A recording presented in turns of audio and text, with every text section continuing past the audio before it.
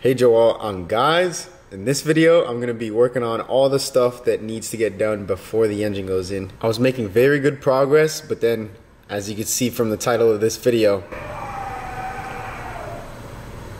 what the fuck was that?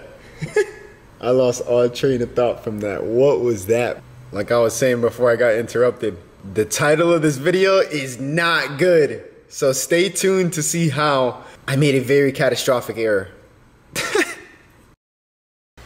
While I was editing the last video of assembling the engine, I realized that I didn't turn the engine over after I put the timing together. So I just threw the valve cover on. But that's actually pretty bad because I need to spin it over and make sure that the engine is still timed.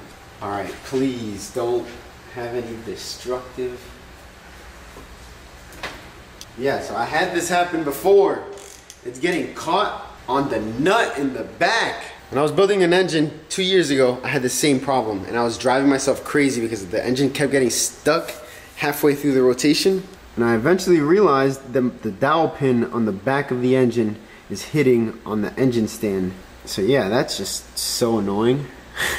so that only becomes an issue when there's a lot of weight on the engine. So I'm gonna try and use the jack to lift the front of the engine up a little bit just so I can get a few spins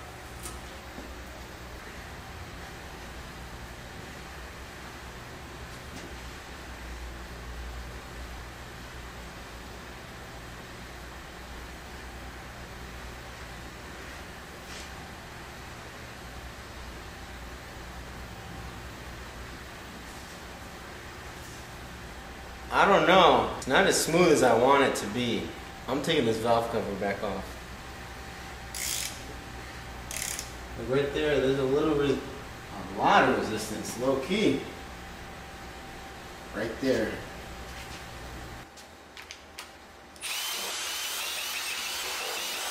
Alright, off comes the valve cover. What a damn shame.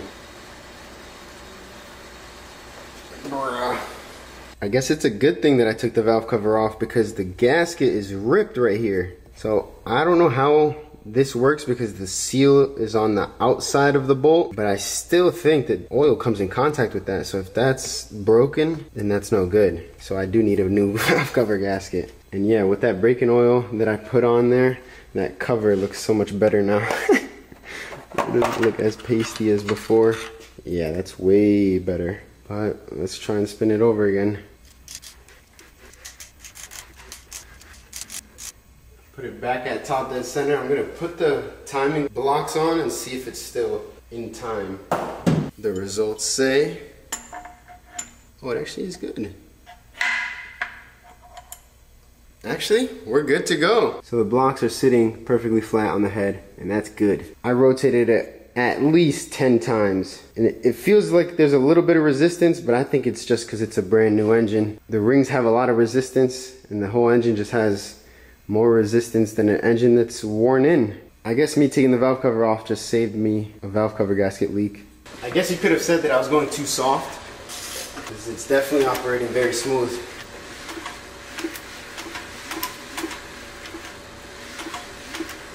All the squishes that I hear is the lifters all compressing. That's so cool. I've never had working lifters before in an M52. It's back at top dead center. We're all good to go. Let's go. This transmission is a perfect representation of how much this car used to leak and this is why I want to try and clean everything up and do a proper reseal on everything because this is just absolutely ridiculous. This thing was leaking just perpetually. Is that the word? I don't even know. just there's a thick layer of oil on everything. So I'm gonna get this cleaned up in the parts washer, took the little tray out. That's how dirty it's got after doing the full engine rebuild. I'm gonna take the transmission, clean it up so I can fix the detent pins.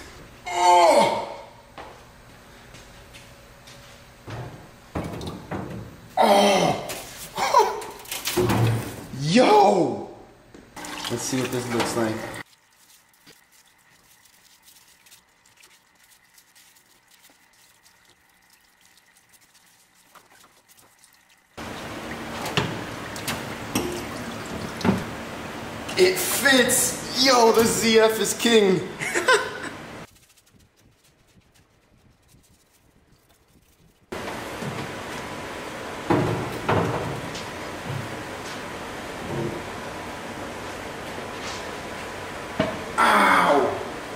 There we go. Finally, it's all cleaned up. There's finally no oil. I'm gonna try and keep it like this too. The scratching in here was from when my clutch exploded. It exploded twice.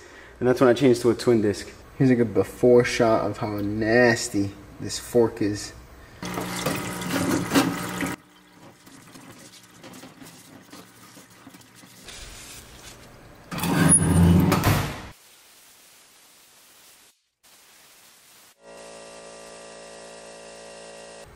Here I have the detent repair kit.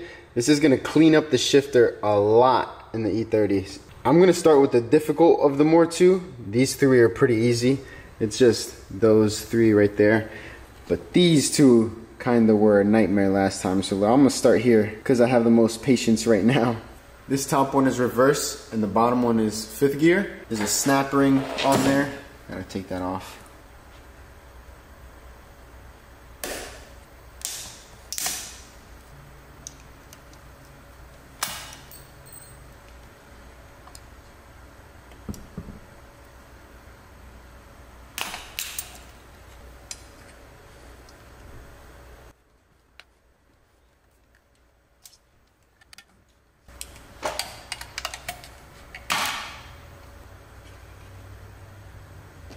The reverse spring is stronger than the fifth gear spring, so I gotta be careful with this one.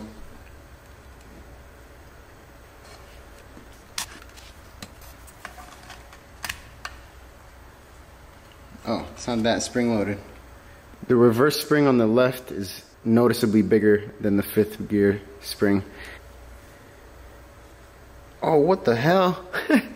I literally pulled it out by hand. That's really good. If it has the fifth gear lean problem, these are gonna be stuck in there.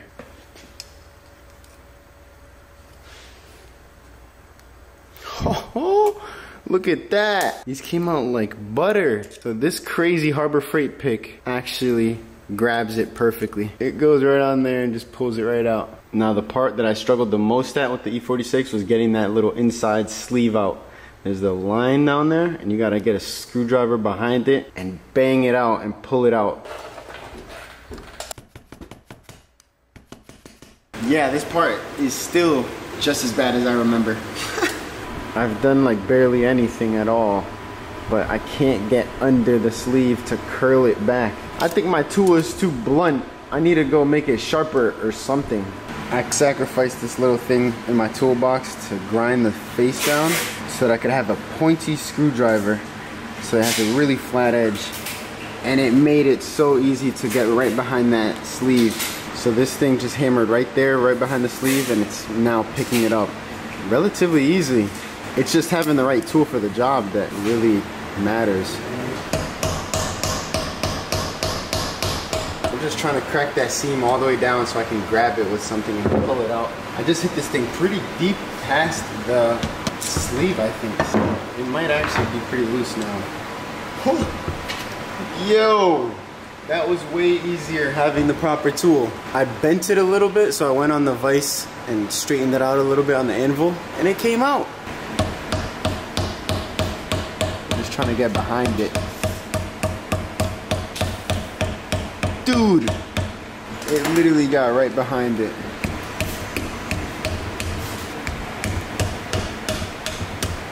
No, it's going in. Don't go in towards the transmission. What the fuck? I need to be careful. That shit went in.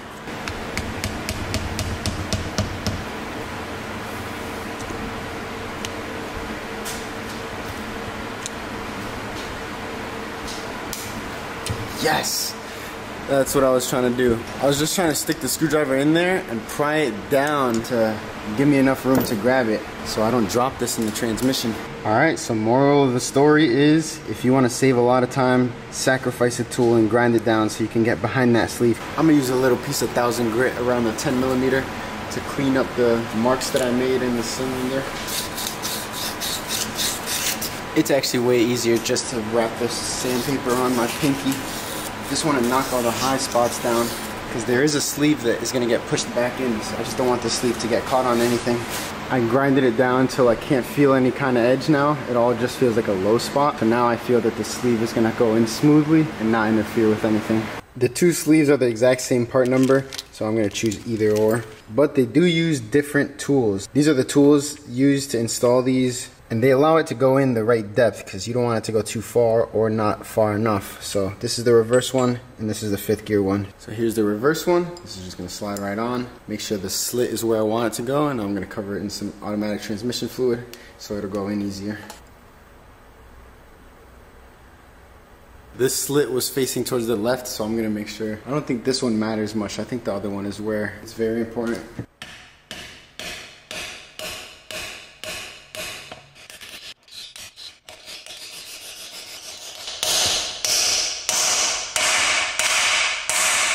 It sounds way more solid because it's hitting the transmission. So that means the sleeve's bottomed out all the way. Now I'm gonna do the exact same thing to the fifth gear one right here. And the fifth gear one uses the 22 and the reverse uses the 23.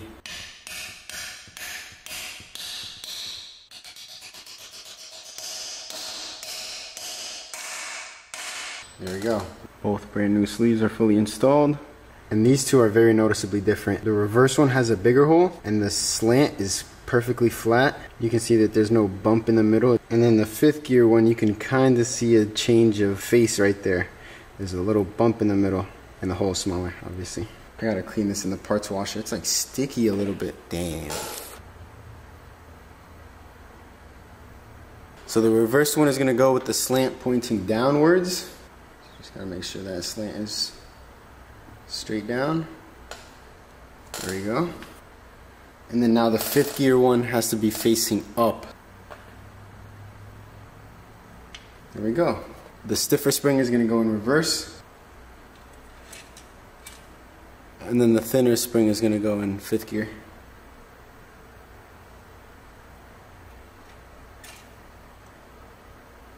This is super sketchy, but the trans leaks fluid out of the vent right here if I tip it over all the way on its side. So I got the vise positioning it there a little bit. Now I'm gonna try and get these caps on right here.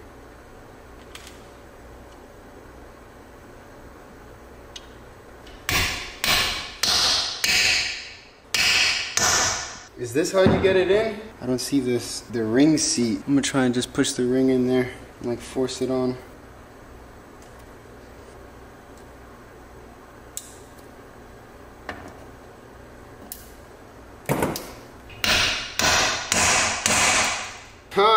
That's the way. Just drop the clip in there, close it, and then just hammer it on and it, it got on.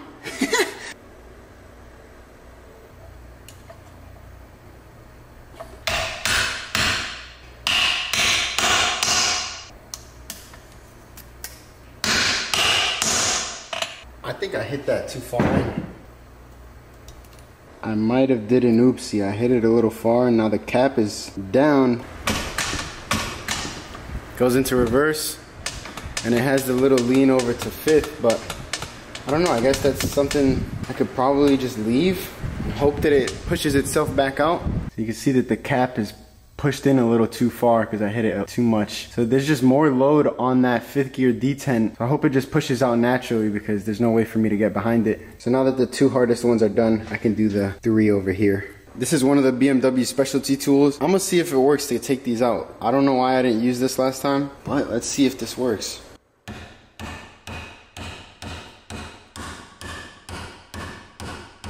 Almost, okay, so it's poking a hole through. How the hell do I get this to come out? that tool made a little hole.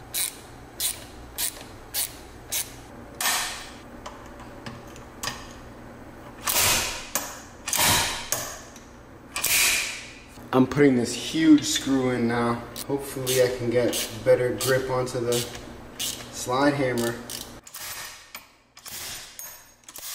Yes! Okay, no, it comes with a new spring, so I don't have to worry about that. So a screw big enough will hold on to the spring and bring that cap out. This first cap is off, so I'm just gonna go ahead and take the other ones out now. Money. Yes! Damn, that was brutal. Now that all the caps are off, I can breathe now. Just a little magnet to pull this thing out. So I think the biggest difference with this is gonna be that what came out of the transmission is just one piece. It doesn't have a sleeve or anything, but the new piece has its own sleeve that this goes into so it makes it so that there's less slop and the shifter is gonna feel a lot better. This is why I'm really excited to do all this. Once again, these all three are the same. So with all three of these, I'm gonna wanna make sure that I line up this line with either the right or left side of the transmission. Either or. Because if I put the line facing forward or back, it's gonna cause uneven wear on the shift pins and it'll potentially make this break open, which that's no good. I'm gonna put some ATF around the outside.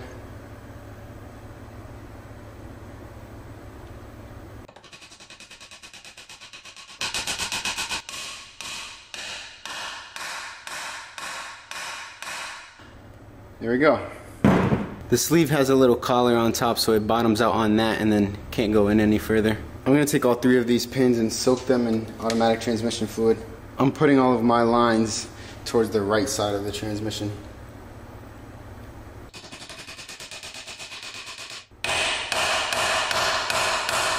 There, very audible change.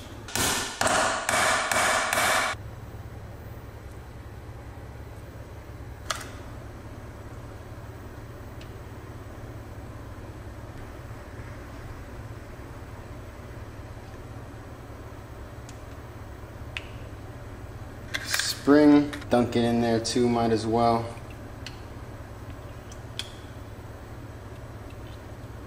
And lastly, these caps apparently get hammered in until they hit that sleeve or that bushing. Let me drop these on in.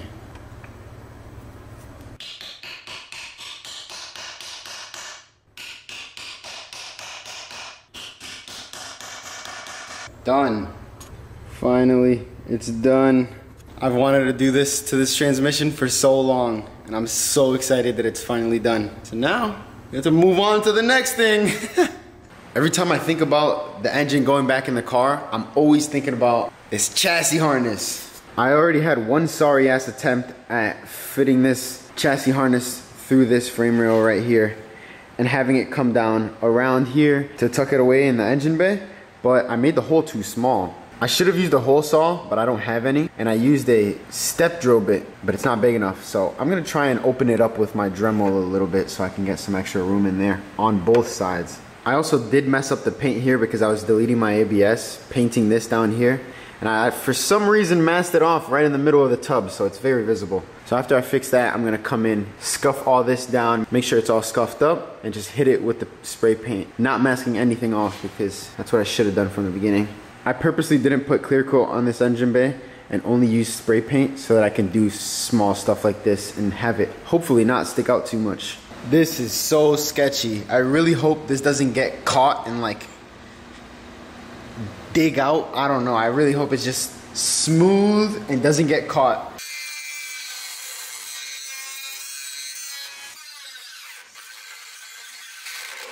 Ah! Like that.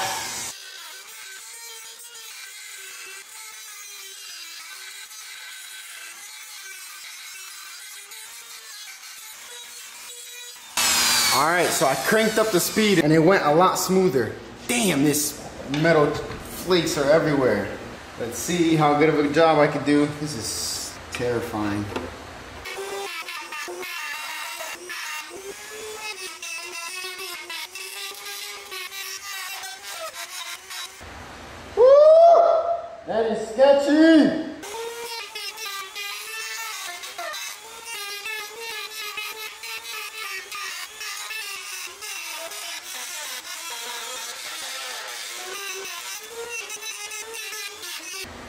That hole is much bigger now. If that doesn't fit it, then I really don't know. But gotta vacuum all those shavings out. It actually doesn't look too bad. I thought it was gonna be hella wavy, but I can live with that under the rubber. I'm using the cap to cover the other side, and I'm trying to get all the bare metal gone. It looks like it did a pretty good job too. Just a few taps. This side is fully covered. I can't see any bare metal. And this side also looks to have no bare metal, which is good. I'm gonna start off by cleaning the whole area with this foam prep.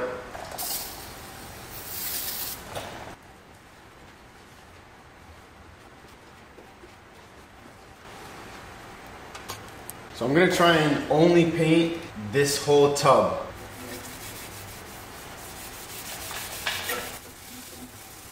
Go too far though, I don't wanna take too much paint off and go through.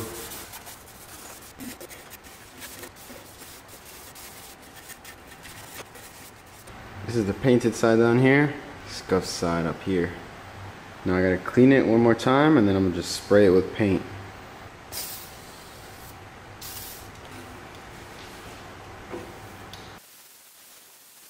I got everything that I think would get really bad overspray on, but I'm gonna try and be very careful now to only hit the areas that I scuffed up and to not make it look worse.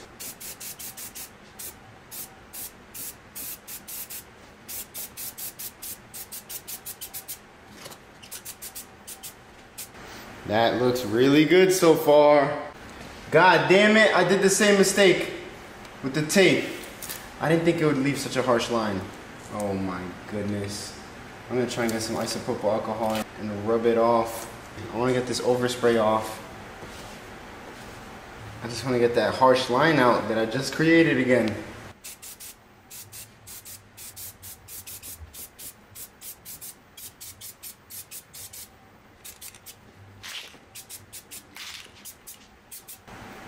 All right, I'm leaving it at that.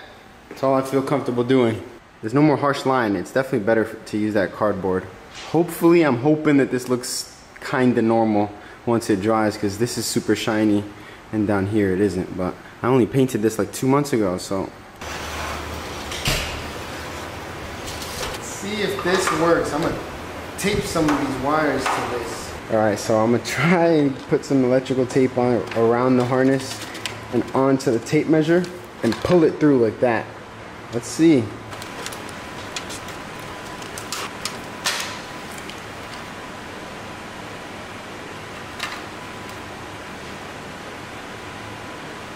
Fuck. Damn it. oh my god. It already had a rip in it, but I didn't even think about the rip fully going all the way through. I knew that this already had that messed up. All right, since it broke, I just extended it some more, and now I'm about to just tape it to the broken uh, tape measure.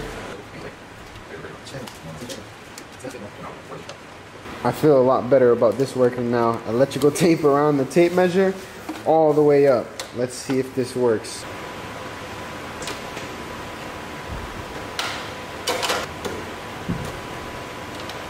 This is a bad idea. I should not have used a tape measure. It's way too big. It's just making it so much harder to pull it through. I should just use a fucking piece of string. Piece of string. It's like overwhelming. It's like when I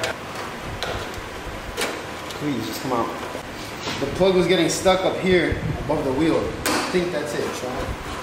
Okay, yeah, this is further than we've ever gone. I'm gonna have to tape all this together then. I just took the time to go through and put tape on absolutely everything so that hopefully I don't get caught on anything like it did with that other strand.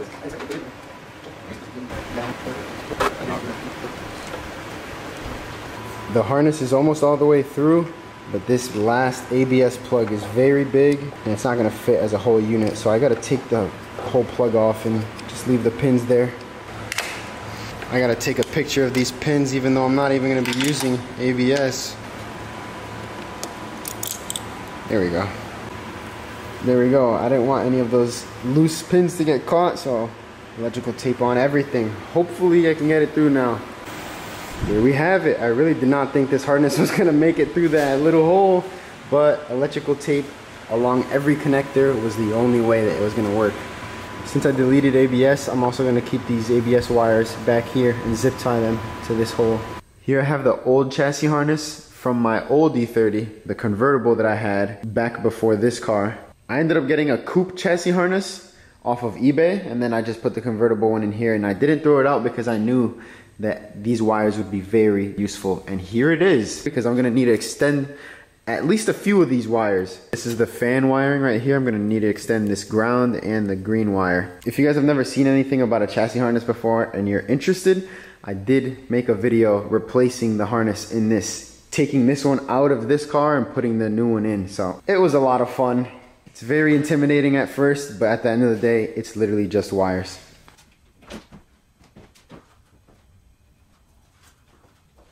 This thing just comes in and slides right on. There it is. Easy as that. It has the core support now. I'm gonna put at least two bolts in for this core support.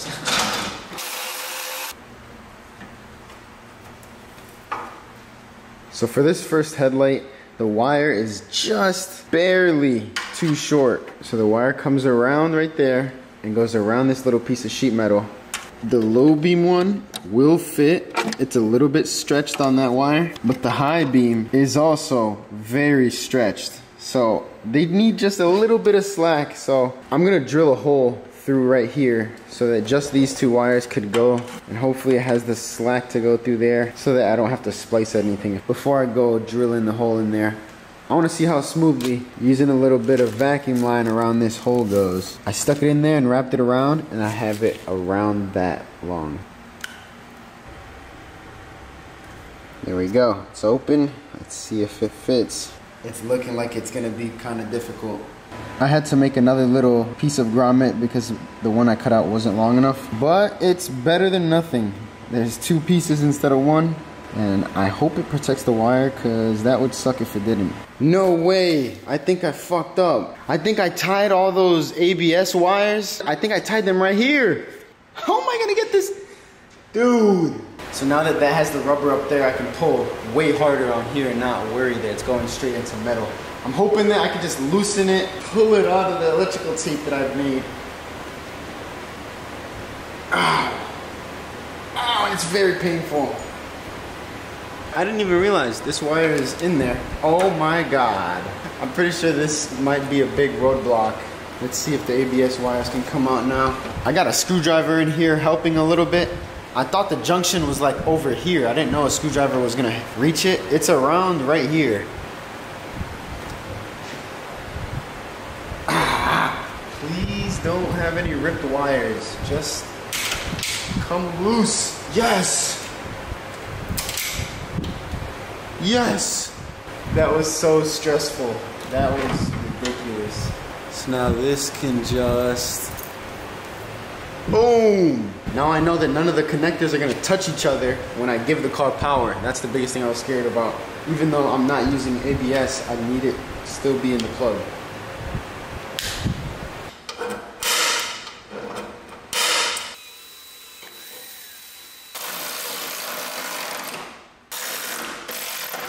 There you go, that's held in up top, hopefully more rigidity. The hole has to at least fit the headlight clips.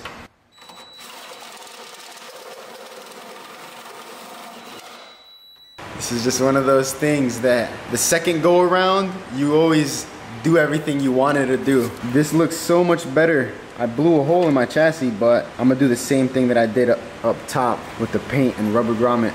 But down here, the headlight wires, it's just two little wires and that's basically everything that's gonna show. I got the intercooler, radiator, and E-fan mocked up so that I can get the wiring exactly how I want it to be. The E-fan wiring just needs to get extended the distance from here to here. So I'm gonna take that measurement and then just cut out two wires to make this that long. My intercooler just sits there with no mounting because once the pipes are on, it literally hugs on to the core support. And over here, this is the low beam. The low beam actually is long enough. Now I just need to extend this high beam wire so that it can go around this frame rail because this one clears it, this one doesn't. There we go, two OEM wires matching the color that I need. That's so nice. So I had already cut the pigtails off to use the headlights on this car since it, they are late model headlights. The wires are all clean now.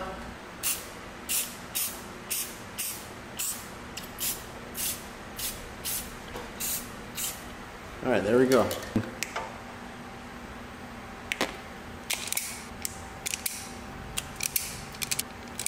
Here we go.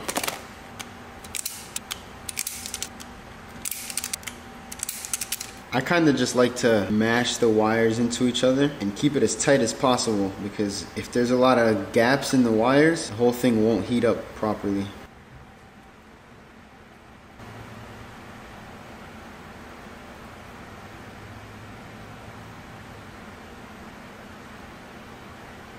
Know why it takes so long to melt. Someone said before that this was plumber's flux, but I don't care, yo. I'm gonna start using it again because the bottom one I used the paste flux and the top one I didn't. The paste makes it so that it all just heats up way more evenly. Good to go.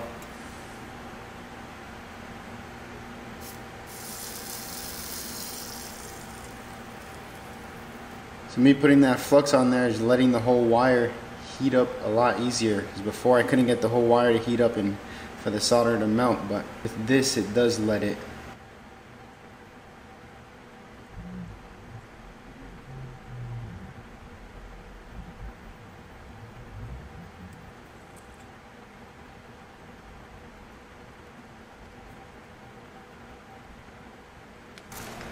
There we go, way quicker. This clip is only a minute and a half long and before I was sitting here for like five minutes trying to get this wire to heat up all the way.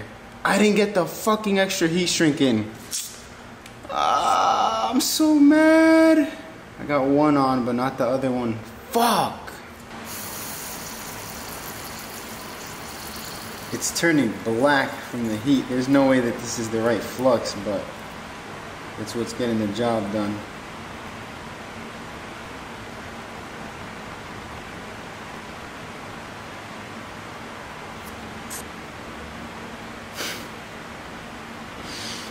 This is so annoying. I, I forgot that I cut this top one, so I also had to cut the bottom one so it matched. So this one's not super long. That was so incredibly annoying, but it's done and it looks good now, finally. And the worst part is, it barely fits after all that.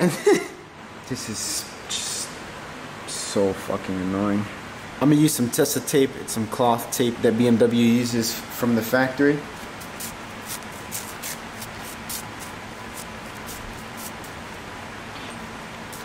Done, finally, it reaches.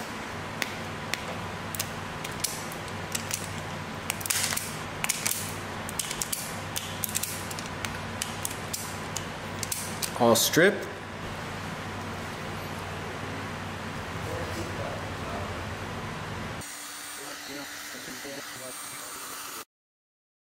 Drawing water, you see, you know, oh, look at it, you have to You know what? Let me sit on it. I should have just crimped it from the beginning, but whatever. It's done now. The baffle on my oil pan is hitting right here on that crank scraper that I installed and I don't know. I can't find any information if this baffle is good enough to run just this single one, but I'm working with what I got. So I think I'm gonna try and remove the whole baffle and only run this one. But yeah, I'm not sure. There's not very many write-ups about this crank scraper. If I cut the baffle and make it so that it fits with that other one, I think that'll be best of both worlds, but it's gonna make a really big mess inside of the pan. I'm gonna have to clean it regardless though, so I'm gonna try and cut it first. And if that doesn't work, then I'll drill the rivets out and remove it completely. I'm just gonna measure the distance from the bolt hole to where the crank scraper ends. Okay, so it's about three inches. So I know that it has to clear all the way past three inches. I'm just gonna try my best at cutting a good amount of the baffle out while leaving a lot left. Right before I do something, I always spend so much time researching if it's the best option. Like, I can't find anything about if I should have only just the crank scraper or, you know, like uh, stuff like this. I have no idea if I should cut it or fully remove it. But I'm gonna cut it because once I fully remove it, then I can't have it be cut.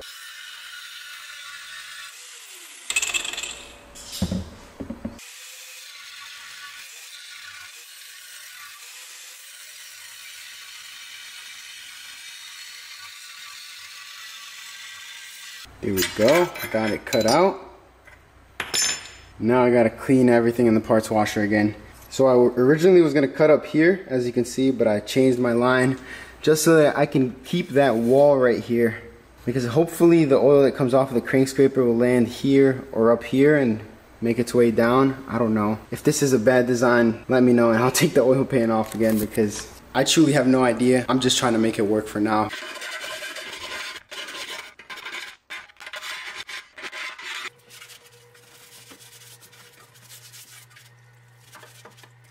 I'm gonna take my time and clean this very thoroughly off camera.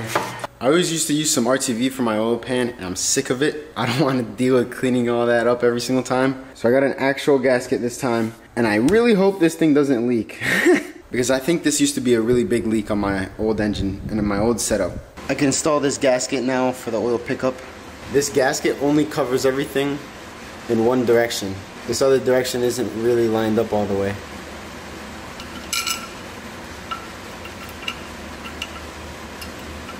10 newton meters.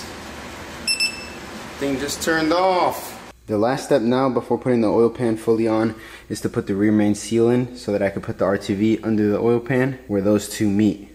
But unfortunately, I need to take it off the stand real quick. While I'm here and while I see it, I'm gonna put these two coolant temp sensors. This one's the E30 for my dash, and this is the E36 one for my ECU. Oh no, there's Vanos lines in the way. A torque wrench is not fitting on these, so I'm just getting them nice and tight. Tight enough for the crush washers to seal.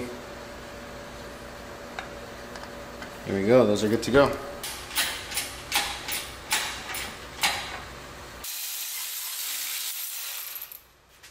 This cover is going in the parts washer. Nice and dirty. All clean. Ready to get installed.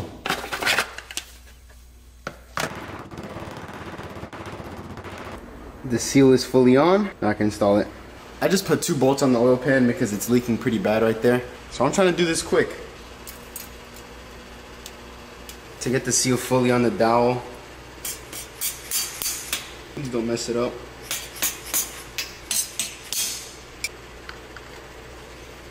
This piece of plastic just makes sure that the seal fully goes around the crankshaft.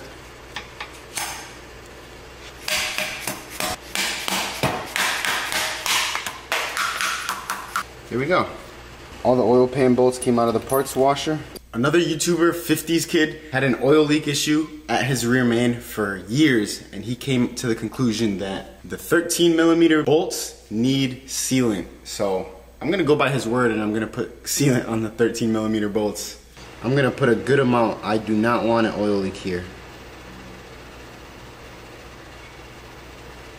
Here we go.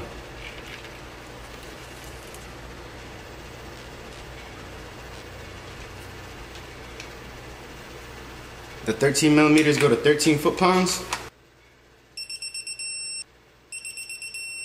And then the 10 mils, 10 millimeters. meters. Good to go. Before I get too carried away, I want to do all the stuff that is annoying before all the fun stuff. I want to install all the sensors on this side of the engine now while it's on the stand and while it's looking good. These are going to go to 15 foot pounds. Putting a new O-ring on this camshaft sensor. I actually have no idea if this is gonna fit with the Vanos solenoid in now. Yeah, it's definitely not. Damn it! Gotta do it before I get carried away. So I gotta take this Vanos solenoid off now to put the cam sensor in. And this is the only tool that I think will get it. There's no way I fucked up. See now the reason why I like to overthink everything is because of reasons like this and also I forgot that this is an oil filter housing. An oil filter housing. There's an oil filter in here. And I put it through the parts washer and I did all that cleaning and I never even opened this. That's like the most important part of the whole cleaning. So I bolted it onto the engine without even opening it. I really hope there's not a whole bunch of metal shavings in this oil filter housing from when my engine previously blew up.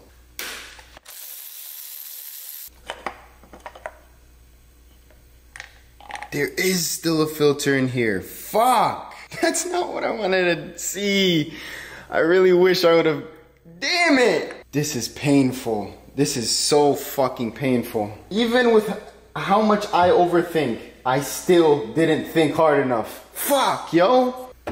Fuck, I think this is a lot bigger problem. I think me opening it just took all the oil that was in here into there. Oh my fucking. I think me opening this just opened the floodgates. I have to take this off again. This is insane. I have to take this off and I need to do it quick too. I don't want there to be any metal shavings in my engine. Fuck.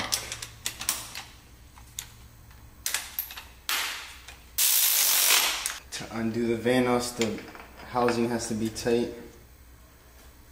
Okay, well, I guess I'm gonna be able to put my cam sensor back in, but I don't feel good about this now.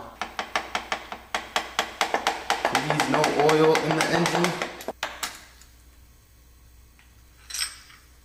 Fuck. I think I see fluid in the oil pan. That's not good. I think a lot came out. Son of a bitch, yo. Of course there's an O-ring in here that I don't have. I really hope there's not too much black ass oil in here. Cause then I think me taking the cap off let in a bunch of air and all the oil that was up there just went straight through the engine. And that's not fucking good. That's really, that's catastrophic. That is a, I had to take the whole oil filter off first before. No. No! There's probably metal shavings between everything. Fuck. That's not good. No. No! Dude, I can see the fucking metal flakes, dude! I can't do this. And just like that. I don't even know, dude. I really don't know. That is such a bad fuck up.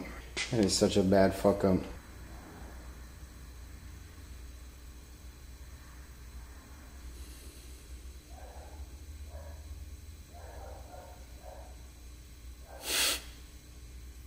This is just comical at this point. How literally the whole time I'm building this, I'm saying one slight oversight can ruin everything. And I didn't know I was gonna be fucking foreshadowing myself. The one thing I could have done differently is, in my mind, I know that I never took that oil filter out. I never took the oil filter out. But I started assuming. The moment you start assuming is when you lose because you assume wrong once and that could be the fucking difference of everything. Even sometimes life and death. If you assume that a tractor trailer is not gonna move out of your way, I don't know, something. That's how a lot of accidents on motorcycles happen. But I shouldn't have assumed that just because I had it in the parts washer for 30 minutes that there was no oil in it. I swore up and down that that thing had no oil in it, but I didn't know that the top oil filter part was sealed. So the moment you take the seal off and open it, it lets all the oil that's inside of there flow through like a floodgate and that's what happened here. So I need to disassemble everything and clean everything again in the bottom end because there's visible flakes in the oil that I just put into the fucking whole entire engine. But I guess I'm happy that it happened to me and it didn't happen to anyone else because I have the platform that I can show that one mistake is all it takes. One assumption is all it takes. I should have just taken the oil filter housing off the moment I knew that I didn't change the oil filter, but I didn't think that there was oil in it. I learned my lesson very quickly. I am never doing that ever again. this is so painful. This is so utterly fucking painful. There we go. That's a very clear view of how many metal flakes are in the oil. Because obviously I destroyed my ringlands in my last engine. So yeah, I just forgot to take the oil filter out when I was cleaning the oil filter housing. Very bad oversight by me, but we're humans. We make mistakes. I just so happen to be recording them all and posting them online for all of you guys to be learning from my mistakes. If there's any of you that are gonna comment, you're so dumb, that was so obvious, you can keep that shit for yourself because I don't give a fuck about what you have to say. I'm putting all my mistakes out here so that other people can learn. So if it makes me look like an idiot, so be it. It's life. We're humans and we make mistakes. All I can do is just move on. It already happened, so I'm gonna have to fix my mistakes. So that's exactly what I'm gonna do. So yeah, just so happens that my dad is getting surgery tomorrow, so I'm gonna be there for my dad. This engine can wait a little longer. And I hope you guys are willing to wait because it's been taking super long and I've been very aware of how long it's been taking. So it's just life, man. Stay tuned.